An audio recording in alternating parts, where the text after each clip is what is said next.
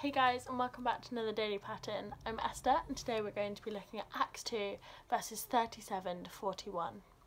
I'm very much an overthinker even with the smallest of things and I wonder if you've ever been in a situation where you have felt lost or have overthought something and don't know what to do and you have that one friend or family member that simplifies everything, reassures you and tells you it straight. In verse 37 it says, Brothers, what shall we do? And Peter replies, Repent and be baptized. He's giving them direction. He's saying, Repent, be baptized, and you will receive the gift of the Holy Spirit.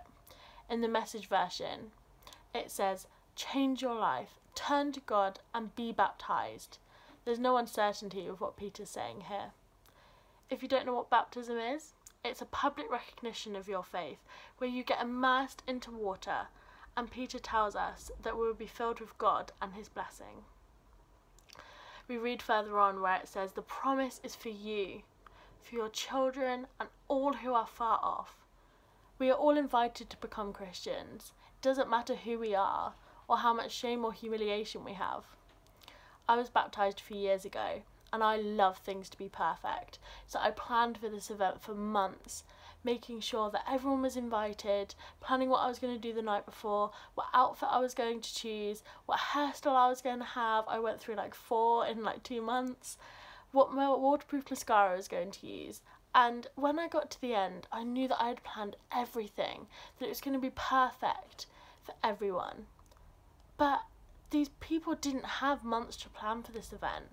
Peter told them about the Holy Spirit, told them to be baptized, and they did it there and then. It doesn't matter to God the planning.